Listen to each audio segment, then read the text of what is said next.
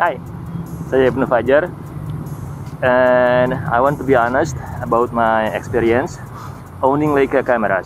But first, a short history of my experience with my uh, Leica cameras. My first Leica camera was uh, actually a Digilux 2, but not exactly this one. So the second one, I bought myself a Leica X1 and then a small packet sizable like a D-Lux 5 and then next I got myself a Leica M8 which is this one. I still have it up until now. Then I bought a Leica T which I sold it a couple of months ago. And the last purchase was another Leica Digilux 2 exactly this one. Right I bought Leica Digilux 2 twice.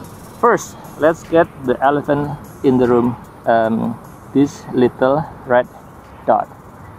Actually this is the best part of owning a Leica. This is uh, when people start to think that you're an established photographer you had all your life uh, well figured out.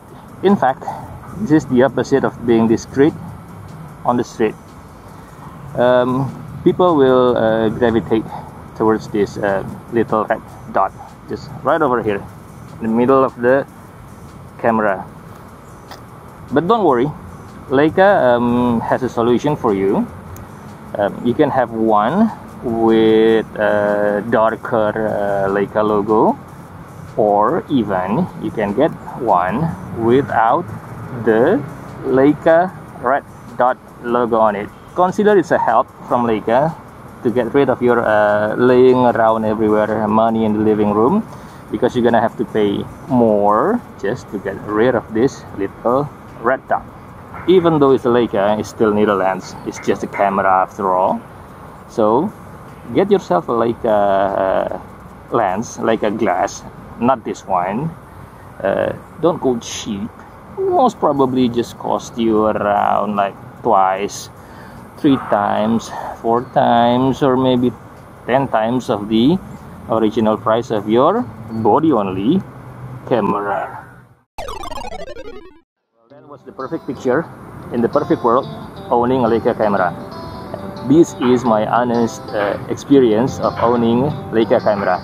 Uh, this one is an M8 I bought it like two years ago second with no box with no document no whatsoever just a body three batteries and one charger. That's it. Uh, this one is like 14 years old. Like I always mention is a very old camera. Um, being honest of owning a Leica first let's talk about the glass okay? I happens to be not owning any money laying around everywhere in my living room. So I opt for a used uh, 7 artisans uh, lens. This one was 35 millimeter f.2 and I can tell you it's a good enough. It's a good lens. Uh, may not be as good as the one uh, from the original like uh, Summicron, Summilux or Sumi whatever it is.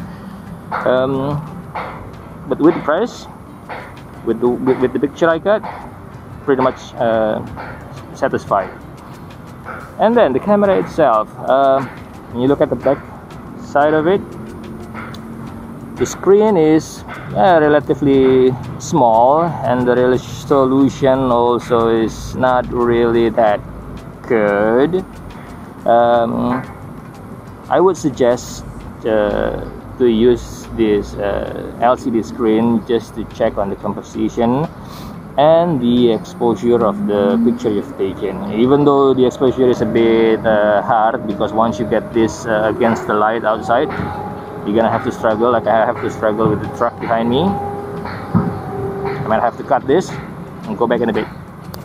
Um, next one is this camera only has 10 megapixel uh, of resolutions M8 notoriously known for its uh, float sensor.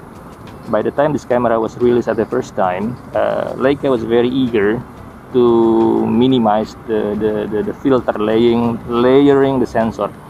So what happened is uh, the quality of this uh, camera itself actually punched way above its level.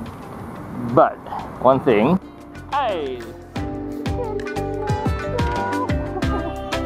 I have to stop for a while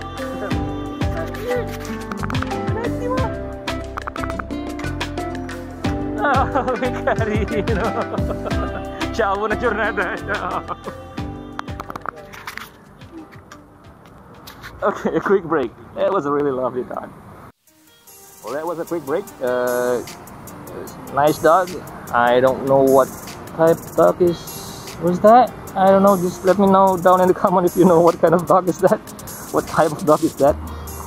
Okay, where was I? Uh, I was talking about the sensor for sure image you're getting from this camera uh, it will have a purplish kind of color when you shoot a darker uh, dark fabric and if you shoot on uh, grass or leaves which is actually green it will render a bit uh, yellowish next one shutter speed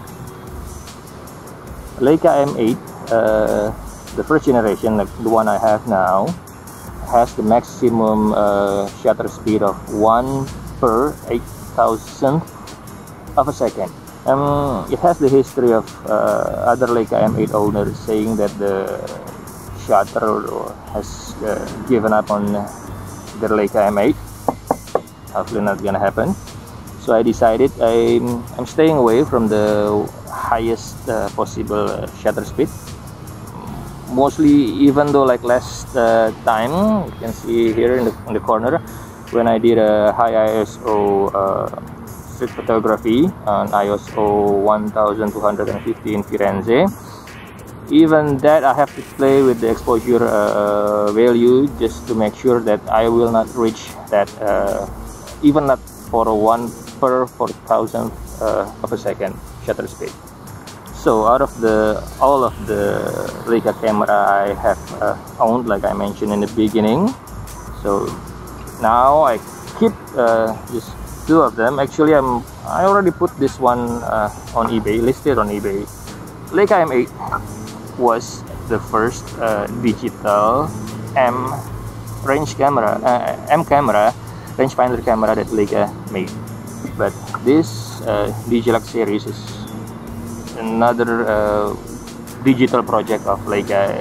There was before a Digilux 1 and then this one is Digilux 2. After this they launched Digilux uh, 3.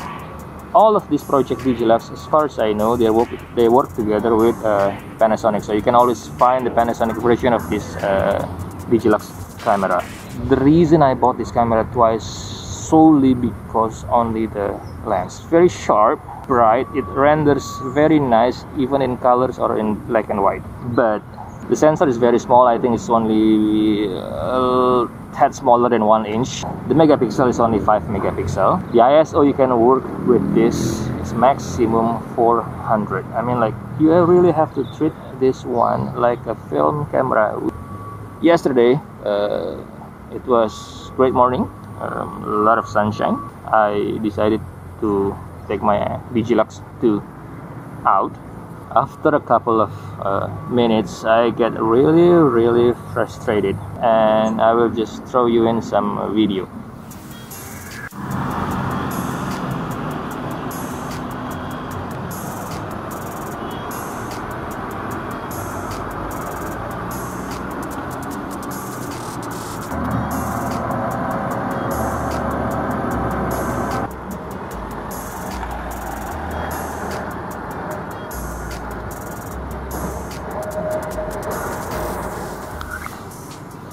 then what happened yesterday was I regret it so much. I should have kept walking kept taking pictures. So the conclusion of me being honest on this video based on my experience owning Leica camera I decided to keep two of them. This one the Digilux 2 from this I learned to be a lot slower taking my time. Mostly with this I will find a spot a place, a composition, I will stay there for a couple of minutes waiting for subject to fill in. Meanwhile, the M8 with all of its limitations, this is the most enjoyable for me. I mean like you can be slow. Uh, this is a range finder camera so you will be exactly at the moment no lag you know everything and also it has all the manuals no bells no whistle no nothing. This camera taught me how to learn more about photography. Hope you like the video of my honest opinion of owning Leica cameras. If you like the video uh, leave a like on this video subscribe to my channel and hit that notification bell. Saya Ibnu Fajar and I will see you again on the next round. Bye